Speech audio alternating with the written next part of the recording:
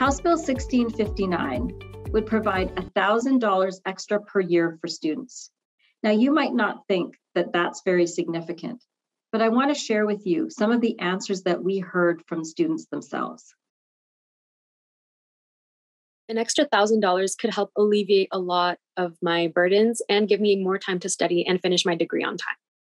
Thousand dollar will be very helpful for me for transportation because sometimes you don't have enough money for gas or car repairs. I work on a old computer, one thousand dollar. I can buy a new one and I can help my schoolwork. And I only have a part-time job, which gives me about a few hundred dollars a month. So that would go towards like my the non-food items. But with an extra thousand dollars, I'd be able to pay for those. I would definitely spend it on groceries. I wouldn't have to worry about where my next meal is coming from at the end of the month. So a thousand dollars will give me that extra stability.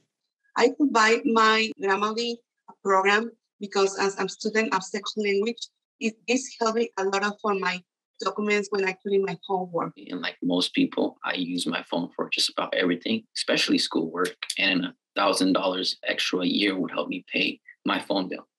I do all the driving for my family, and with an extra thousand dollars a year, it would help me out a lot with the gas and just car maintenance. And I think that a thousand dollars a year would really help me with bike expenses as this past year I had a lot of trouble traveling to and from my jobs and school and it would really help alleviate a lot of those issues. With this extra money that I would be receiving, I would pay for violin books and programs to help me be successful in the future. So, ever since I started working, I started covering some of the utility bills, and it does get tight at times. So, the $1,000 would really help cover those expenses in my role as a program director here at Heritage University, I have seen the significant impact that $1,000 could make in a student's life. It could be the determining factor on whether a student will enroll into college and pursue an education or not. These stories are not unique. Many students can benefit from a $1,000 bridge grant.